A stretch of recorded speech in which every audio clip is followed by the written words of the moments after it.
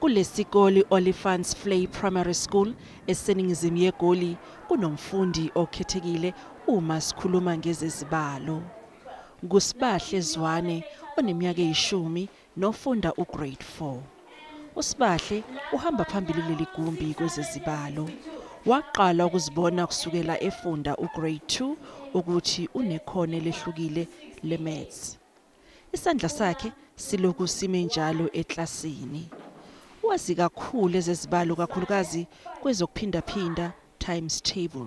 I think ku kukuye nje usibahle this thing uzalwe nayo nje i-talent analo lokuthi uyakwazi ukucounter big numbers and whatever because like njengoba eshilo naye akekho omsizayo kuphuma nje from kuye aqhamuke sekakutshela amanamba even the four digit numbers times three digit numbers usibahle can answer you those numbers so nje it's something ekuye angayifundanga ndawo because akakafiki ku those numbers njengoba asase ku level leya ka grade 4 akakafiki kulawo ma numbers but he can do them Usibahle usezenzela imali ngoba wazi kakhulu ezezibalo. Abantu bayamisa ezitaladini bese bemupha imali. Abantu bangibuza imaths ngiyabaphendula bangiphi imali qedile ngiyobuza abanye ngihamba ngikithi ngiyobaphendula abanye bangibuza imaths qedile ngi- ngiyaphendula im- i-answer kukhulu qedile ngiyabaphendula enye bangibuza enye bangibuza ngama-thousand ngama-times ngama-plus ngama-division ngama-minus Konke akwaziyo ukwazi ngoba ezenzela yena ngokwakhe. uma ngisifundela ngiyi-one umama kangisithi ngiyazibhalela imaths ku-DBE ngiqale ngayazi lezi ezincane. Ngabhala phansi encwadini ye-maths ku-grade two.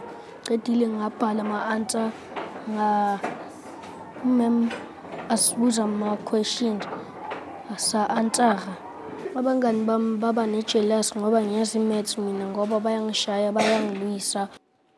Usibahle noma ngabe ebuzwa miphi imibuzo enzima kangakanani uvele aphendule kalula. Akadingi ipeni nephepha ukufinyelela ekutholeni impendulo. Akasebenzisi ngisho icalculator.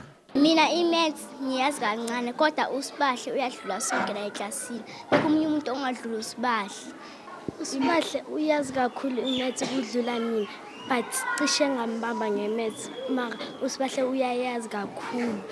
Amanye ama-subject usibahle akakwazi ukwenza kodwa i-maths number one thina sonke. Mina ngigudi kwisizulu usibahle ungihlula ngematch mara nami ngiyazama ukufunda imath. Nami ngiyamsiza makafuna ngimsize isizulu. Siyasizana nosibahle Mara ngiyajabula ngoba kunomuntu okhona oyazi imaths la eklasini. Into mayengicaka ngiyakhona ukuya kusibahle ngimbuza ukuthi i-answer esona so injani. Uhlula ngisho nabafundi bebanga legrade 7. Nabafundi bebanga eliphezulu bayakufakazela lokhu.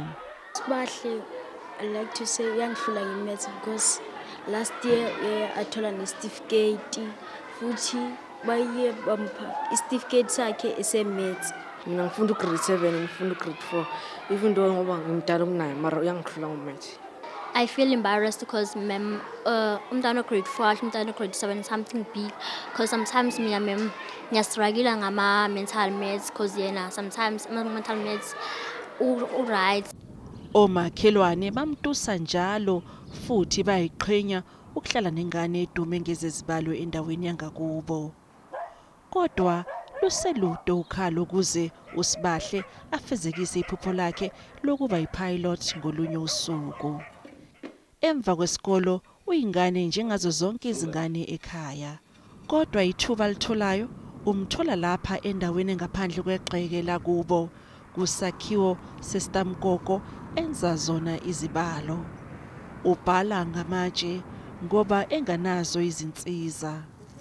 Indawo abhalela kuyo iyamvumela ngoba inkulu. Usazodinga usizo olukhulu kwezinye izifundo ezimupha inselelo ukuze afezekise iphupho lakhe. Asethembe ukuthi umSamaria olungileyo angamtakula kwezezimali ukuze impilo yakhe ibe nomahluko omkhulu. Umbiko ngubusizakwe wezindaba ze-SABC elihaye eGoli